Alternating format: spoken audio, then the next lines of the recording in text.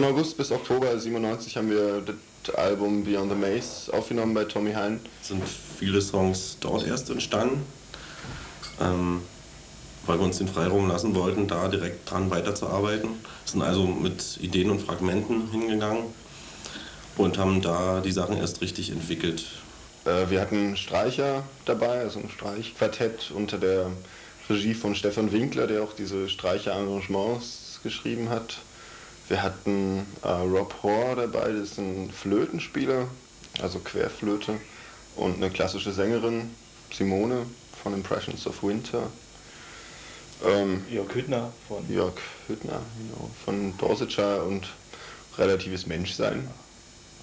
Januar waren wir vier Tage mit Paradise Lost unterwegs, war für uns ganz gut, A haben wir ein neues Publikum erreicht und B konnten wir die neuen Songs auch live mal antesten.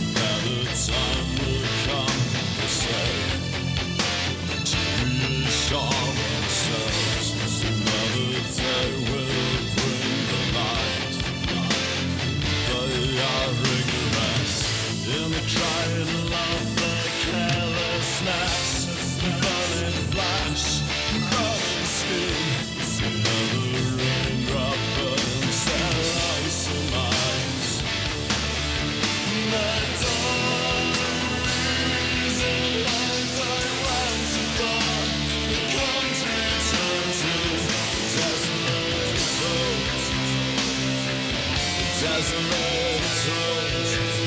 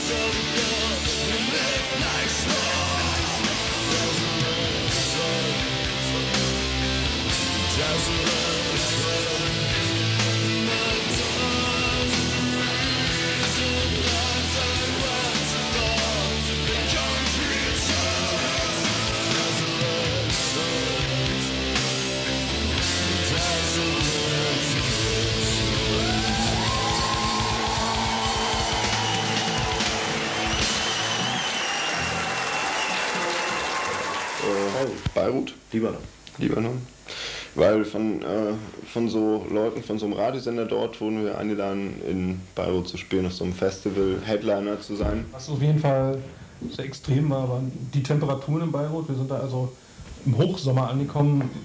Man hat uns nur erzählt, dass es irgendwie seit 40 Jahren der wärmste Sommer war. Und wir als gestandene Mitteleuropäer fahren natürlich in so ein Land, wo du in der Nacht um halb drei aus dem Flughafen kommst, 28 Grad noch, 90 Prozent Luftfeuchtigkeit und man hat irgendwie das Gefühl, der hat irgendwie eine warme Umschläge gemacht. Also Das ging alles irgendwie ein bisschen schnell. Also wir sind dann gleich in, in so einem Militärjeep, also ich zumindest in Militärjeep gesetzt worden und wurde dann durch eine zerbombte Stadt gefahren und ich musste jetzt erstmal begreifen von 0 auf 100, dass ich jetzt lieber noch in, in Beirut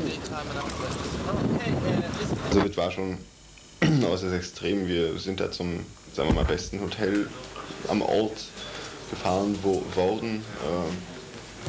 Haben gleich die Türen aufgerissen, also so völlig ungewohnte. gleich ein uniformierter Page raus, hat die Zimmer nochmal geschrieben, sein Päckung gebracht. Also so, so sehr seltsam auf jeden Fall.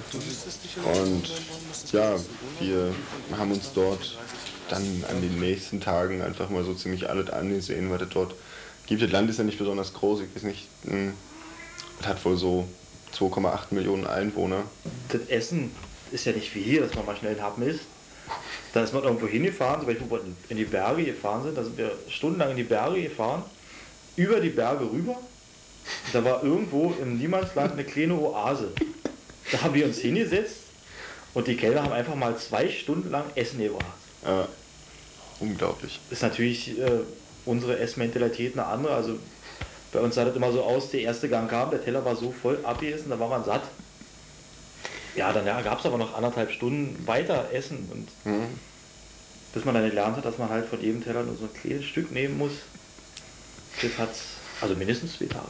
Ja, ja. Und es gab auch Ziegenkäse. Den ich persönlich ja so gar nicht mag. Da gab es auch einen, der mit uns mit war, der hat gesagt, du kannst es ruhig nehmen, das ist Knoblauchcreme. Ich weiß jetzt, mir ist der Name entfallen. Ich war das nicht. Nee, nee, das Gut. war Thorsten. Ach, Thorsten. Nach dem Essen gab es mal Wasser. Ja. Allerdings ohne die entsprechenden Drogen, sondern immer mit diesem leckeren Erdbeer Erdbeer. Erdbeertaler. Erdbeer. Ja, hin, hin, hinterher, reißt sie an der Schulter um. Jetzt ein Foto bitte. So, filmt schon. Ähm, Es stellte sich heraus, dass wir dort mit sage und schreibe 13 Songs in irgendwelchen Charts auf Nummer 1 waren. Der Mensch, der das alle organisiert hat, äh, ist halt Besitzer eines Radiosenders und eines Fernsehsenders. Oder zumindest Mitbesitzer eines Fernsehsenders. Und äh, der hat halt so einen Musikgeschmack. Ähm, offenbar. Und versucht halt diese Art von Musik an die Leute dort zu bringen und offenbar mit Erfolg. So how do you define your music? Well, I would call it atmospheric and powerful, and also very yeah full, full of uh, feelings. Is what I would say to that, and also dark, of course. Dark. Wenn wir mal zum Konzert kommen. Ähm, Vielleicht Das- da kurz erzählen, wo das überhaupt stattfand. ja, Das war ja auch so eine das Sache für sich. Konzert fand statt in einem Yachtclub. Also das hört sich jetzt vielleicht ein bisschen komisch an, aber das war wirklich im Yachtclub. Ähm, eine Yacht habe ich da nicht gesehen, aber Ja. das war auch gar nicht so wichtig. Da waren halt irgendwie relativ viele reiche Leute. Irgendwie halt Christen dort. Das sind dort die Reichen. Dort die Reichen. Und direkt am Mittelmeer. Also das war, man, man hat, wenn man auf der Bühne stand, hat man in die zerbombte Stadt geguckt. Das war so, äh, geht da so ein bisschen, äh, ja, die, Häuser stehen halt auf Hügeln. Ähm, man hat also überall irgendwie völlige Zerstörung gesehen und hinter einem war das Mittelmeer glänzend und blau und grün und alles. Das war halt so absurd, wenn man zu dem Yachtclub gefahren ist, man ist die ganze Zeit durch eine zerbombte Stadt gefahren, wo wirklich fast kein Stein mehr auf dem anderen war. Und dann war, kam man plötzlich an eine umzäunte, ein umzäuntes Stück Stadt, wo so eine großen Gorillas davor standen als Security, dass man reingekommen, da war dann ein riesen Pool und so kleine Pavillons mit Ventilatoren und Drinks ja, und weil praktisch so eine Oase der Reichen in so einer zerbombten Stadt.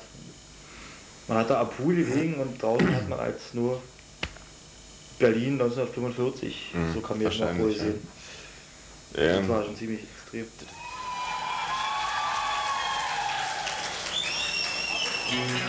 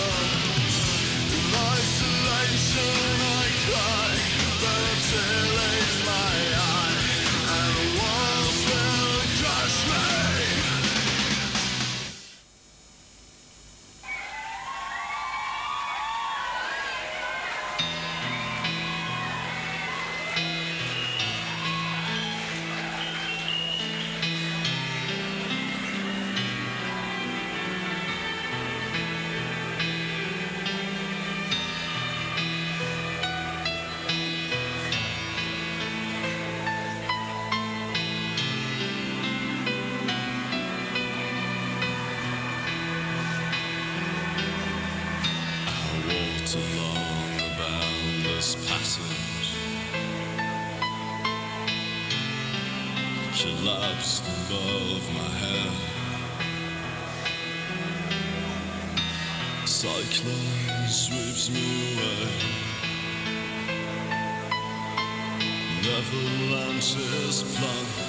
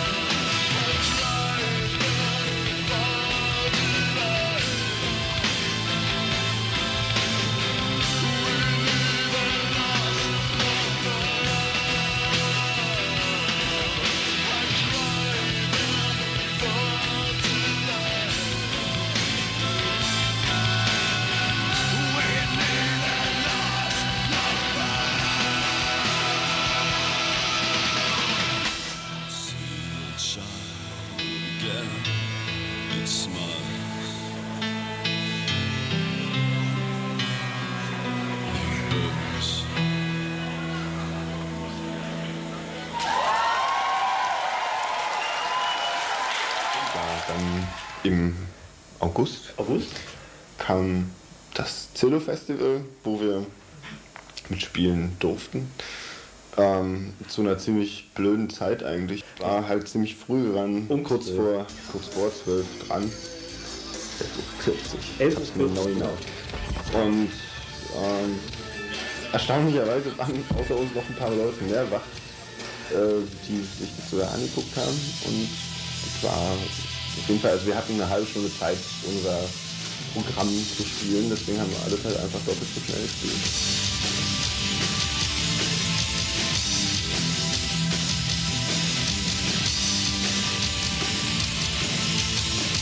La fantasy, la fantasy Devour ourselves to fantasy Devour ourselves The dead can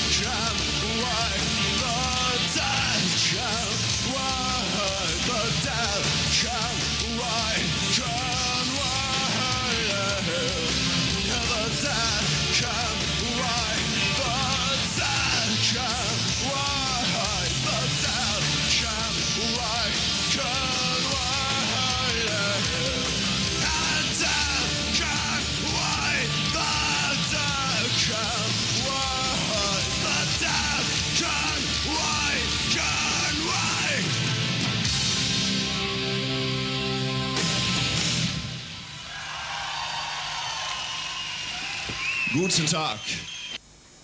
Ja, eine halbe Stunde hat auch gereicht, um mir den Finger aufzureißen und mindestens ein Liter Blut über meine Klampfe laufen zu lassen. Das war schon ein sehr feines Konzert, das alles, war alle dabei, Rock'n'Roll, Blut. True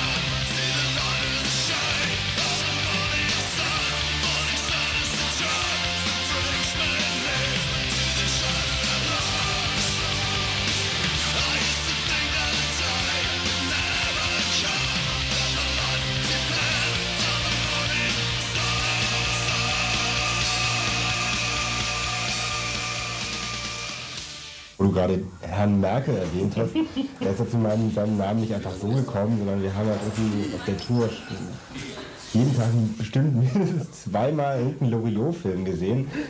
Und dementsprechend hat irgendwann jeder angefangen, auch genauso zu reden wie in diesem Film.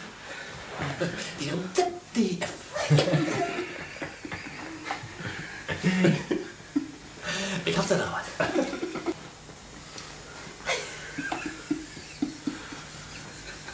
Stillheit, Herr Laser. Ja, äh, läuft's denn? Ja, es läuft. Achso.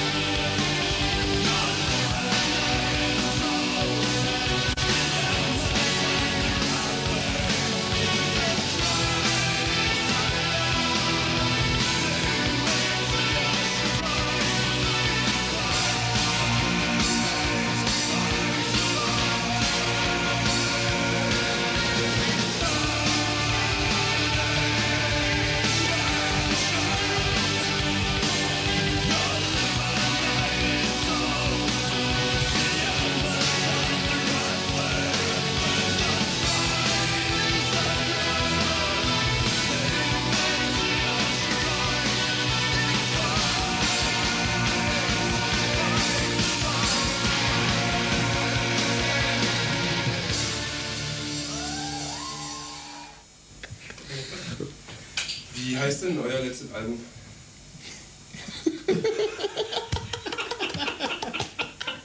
Gute Frage. Wie heißt denn euer letztes Album? Nein, so heißt es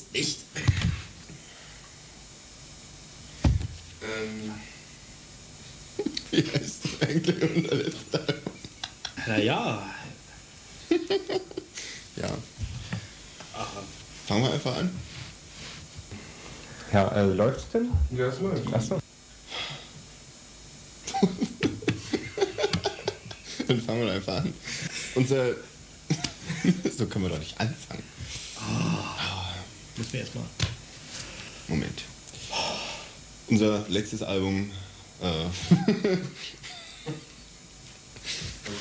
Im letzten Jahr ist er bescheuert. Die ganzen Weicher ja die ganze Zeit rumgenölt. Ihnen wäre zu warm. Äh, nee. Äh,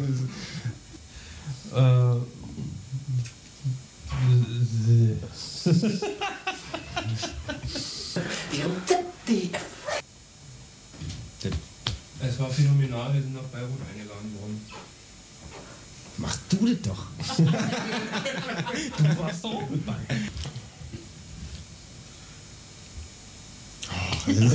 Scheiße.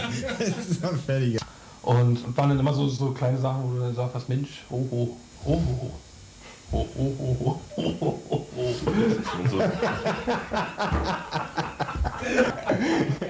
ja, genau.